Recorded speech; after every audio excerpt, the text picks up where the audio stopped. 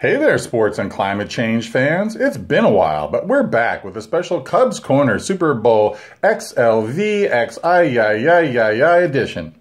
It's me, Kevin, and from an undisclosed location up north, it's my pal Gordon. Yo, what's up, America? So the weather has been wackier than ever since the Chicago Cubs won the World Series in 2016, but clearly the Cubs' first world title in over 108 years did not, in fact, usher in the end of the world. What about huge wildfires in California, followed by mudslides and locusts? Yeah, well, that was hell on earth, but not yet the end of the world. And 50 inches of rain over Houston, Texas? You have to expect that every thousand years or so.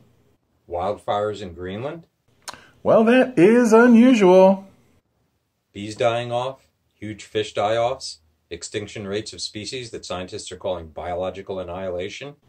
Now you're just getting depressing. Donald Trump as president? Okay, look.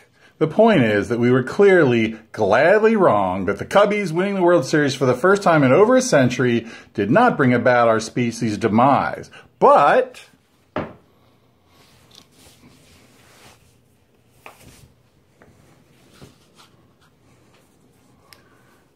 the Eagles or the Patriots winning the Super Bowl XXYVKFC, oy vey, might just do it.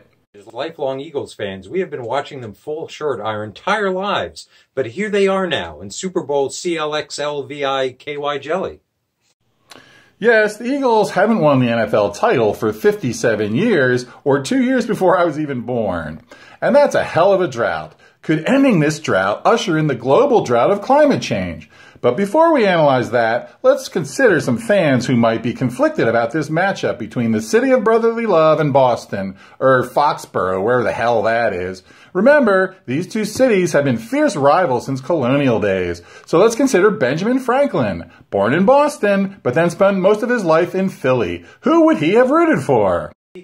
Ben wouldn't have time for those Boston Brahmin bean-eating types like the Adams brothers and John, oh, look at my signature, it's so big, Hancock. He's an Eagles fan.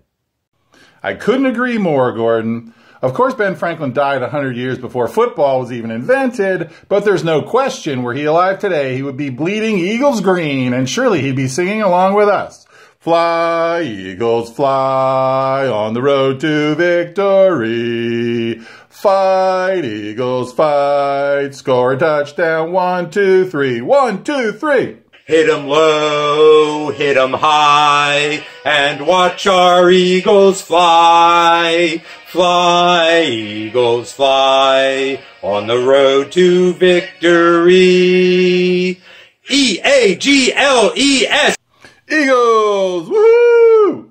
Then there's Noam Chomsky, born and raised in Philadelphia, but spent most of his life in Boston or near Boston at the Massachusetts Institute of Technology in Cambridge. We actually know Professor Chomsky a bit from our peace movement work, so we were able to get his prediction for the big game. Gordon? Dear Gordon and Kevin, Super Bowl LXCLVLGICIA should be a great game.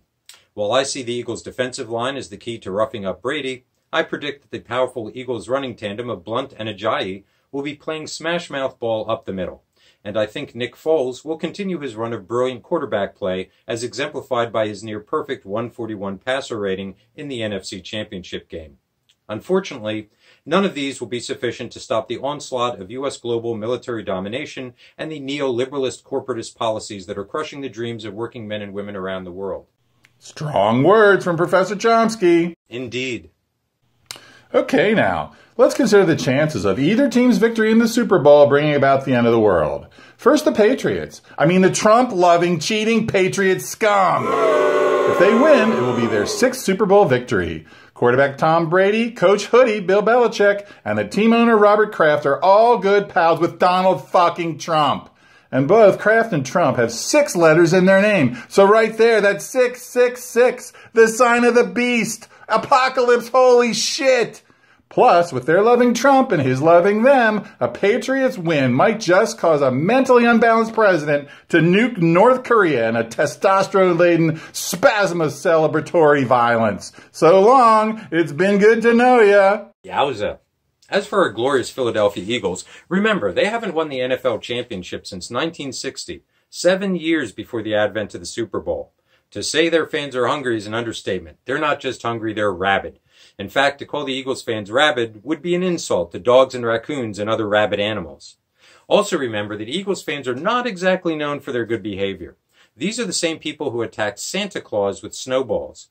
There is an actual jail with an actual courtroom and an actual judge in Eagles Stadium to handle the drunken, loudish, fighting fans when they are too numerous to haul off to the local jail, which as I understand is about every other game. In any event, if the Eagles win, I see mass unrest and destruction in Philadelphia possibly spreading to a working class revolt in other blue collar eastern cities, which would then cause Trump to declare martial law and try and arrest all black athletes in North America. And then, of course, nuke North Korea. And we think there's a strong possibility of that because the Eagles are going to win. Woo! Right now, the Eagles are clearly the better team overall. Their defense es en fuego and their pass rush is ferocious, which is the key to stopping Tom Brady. Their running game, always key to winning championships, is second to none right now. Forget Nick Foles. This backup quarterback to our injured second year phenom Carson Wentz has been dropping in passes long and short or on a dime, and he had that 141 nearly perfect passer rating in the NFC Championship as Noam reminded us. He's beginning to regain his form of 2013 when he passed for a record seven touchdowns in one game and had the third highest quarterback rating of all time for a single season. Who knew? Well, I knew, and Eagles fans knew. But yes, suddenly Nick Foles is the second coming of John Unitas. We would say Norm Van Brocklin or Sonny Jurgensen or Randall Cunningham or Ron Jaworski or Donovan McNabb, but right now he's better than all those Eagles passes of yore. So we have to go non-Eagle with the best of all time, Johnny U, who I actually met and got his autograph one time the day after he got benched for Marty Domres. That was terrible, but he was a pro.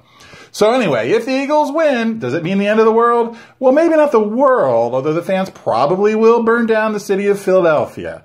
But if the world does end, it will have been worth it for the long-suffering fans of a great city. E-A-G-L-E-S, Eagles!